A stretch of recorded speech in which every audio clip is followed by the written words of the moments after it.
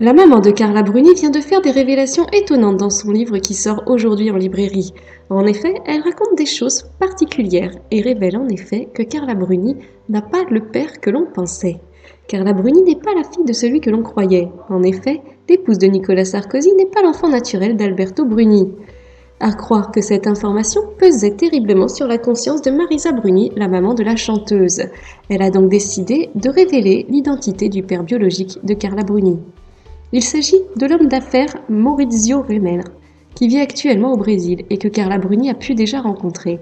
Lorsque Marisa Bruni a eu son aventure avec cet homme, elle avait 35 ans, tandis que lui n'en avait que 19. Il s'agissait en réalité du fils de son amant.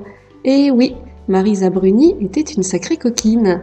Carla Bruni avait pourtant affirmé qu'elle n'en voulait pas à sa mère de lui avoir caché cette vérité. Elle avait toutefois suivi une psychanalyse après avoir découvert le poteau rose et avait cherché du réconfort auprès de sa maman. Actuellement, Carla Bruni est en contact avec son père biologique et n'avait pas manqué de lui rendre visite lorsqu'elle s'était rendue au Brésil dernièrement avec Nicolas Sarkozy.